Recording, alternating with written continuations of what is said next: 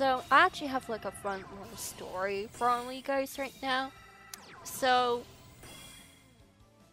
So a couple of weeks ago, I actually got myself a cactus. You know, it was a little cactus, not like a huge one, just like a little house cactus.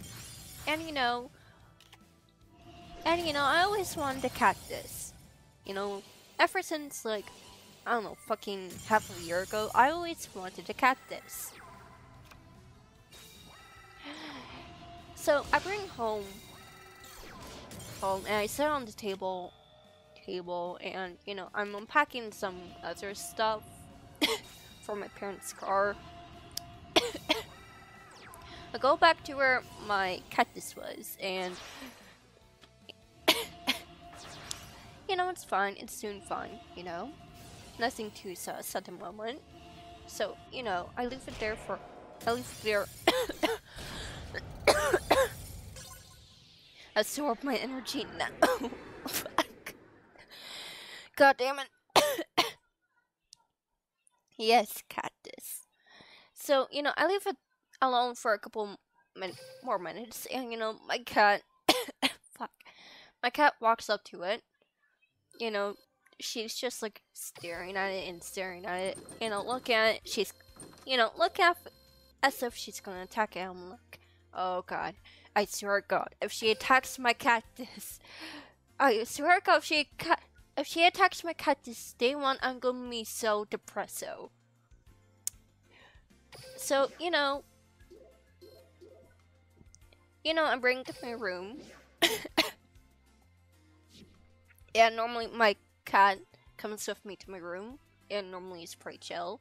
So I set so I set my cactus down on my desk and I go to the bathroom real quickly, quickly, just you know, do my business and all. I come back to my room where I left my cactus. Keep in mind, my cactus was perfectly fine a minute ago. I come back, literally, not even like five minutes into the cactus coming into my home. One of the one of the cactus has been decapitated from the ground. The other cactus literally has two of the whatever the fuck you call them leaves. I'm gonna call them leaves. Just ripped from its body. And I look at my cat because I know damn well it's my cat that did this. And I'm looking at my cat like, why the fuck? What? Like, I'll always be confused on why you know, cats are compelled to attack certain things, especially like new things you bring home.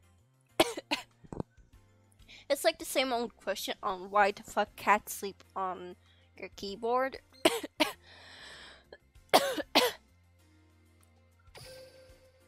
so yeah, uh, that's the story on how my yes, my cat did indeed slaughter my cactus. So and and you and you guys want to know the depressing thing? I actually gave my cactus a name. Yes, that's how far gone I've gone to quarantine. I gave my cactus a name. And you guys want to know why I named my cactus? Dave. I don't know why just Dave. It just fit. I don't know why. It just sounded like a cactus name.